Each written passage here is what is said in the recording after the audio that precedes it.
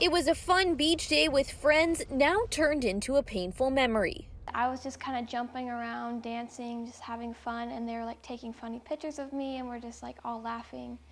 And then, yeah, the sea lion attacked me. 13 year old Megan Pagnini's friend's photo shows what happened next. In this slowed down iPhone Live photo, you can see a sea lion charging at her in the water. I felt it on my leg and I looked down and like freaked out. I didn't even know what it was. All I knew was that something was like attacking me. People walking nearby quickly jumped in to help her, shocked that something like this could happen unprovoked.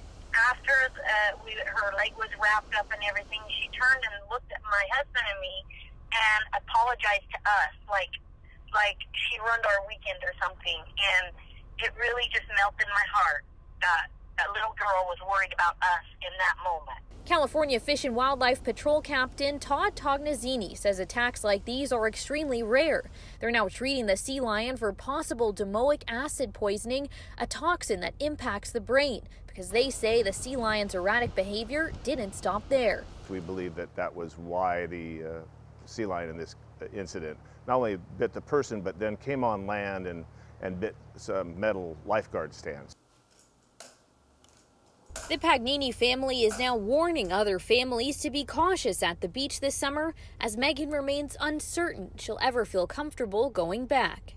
I think I know that if I ever do, I will be a lot more cautious and careful about where I am and my surroundings.